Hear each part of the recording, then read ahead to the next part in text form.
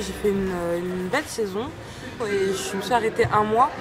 J'ai repris euh, pour le Grand Prix euh, de, Manchester euh, il y a aussi un mois et là je ramène l'or aussi. C'est la première fois qu'une athlète féminine ramenait l'or lors d'un Grand Prix.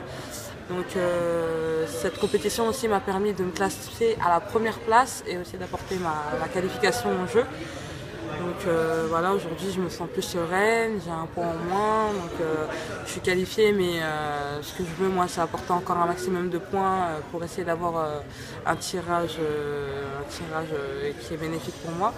Donc voilà, je suis, je suis prête à m'entraîner et à, faire, à être au max pour le, dernier Grand Prix qui est dans moins d'un mois au Mexique.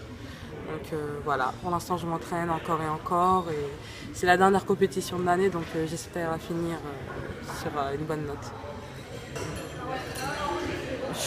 Ça pourrait peut-être un peu m'intimider mais moi une fois que je suis dans le, sur l'air de combat, franchement je pense plus à rien. même si je sais que ça va être une compétition qui va être super médiatisée et, où on va me voir à la télé et tout mais je pense pas que ça pourrait me perturber plus que ça. Moi, dès que je pense au jeu, je pense directement à... Je me vois sur la première marche. Je sais pas si c'est un signe ou quoi, j'espère, mais en tout cas, c'est directement l'image qui me vient.